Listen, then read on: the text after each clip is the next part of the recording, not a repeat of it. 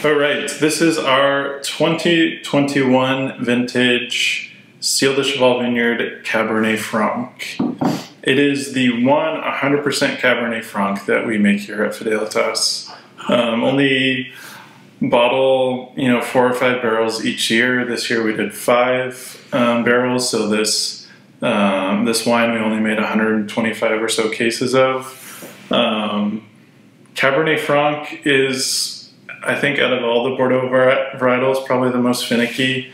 Um, it's typically why we tend to use Cabernet Franc as a, a blending varietal. Um, we're really lucky to be able to source this fruit from Ciel du Cheval in that it's you know fruity enough, it's balanced enough, um, and complex enough to be able to bottle it on its own. In the 2021 vintage, um, what we saw for the Cabernet Franc and the Petit Verdot, again, typically blending varietals, um, because it was such a warm year, is that that fruitiness that we love for these varietals when we bottle them on their own is really showing itself. And, you know, typically wines that don't taste the best right away, they're a little tight.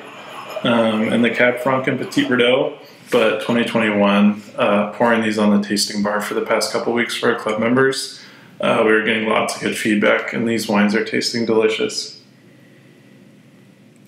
I think my favorite part of Cabernet Franc is the aroma. Um, sometimes I'll just sit here smelling it for minutes on end before I actually take a sip. But just super complex. You get like those bright red fruit aromas.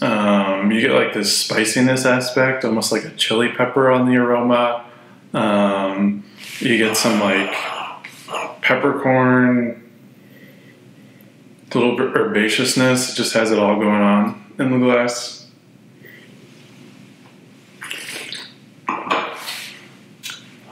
And then even though um, it is a 2021 vintage wine, Cabernet Franc, that tannin structure in this wine is pretty intense. Um, you know, kind of rivaling some of the Cabernets that we make.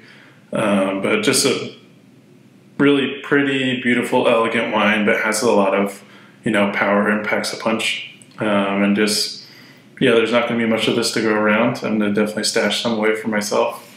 Cheers.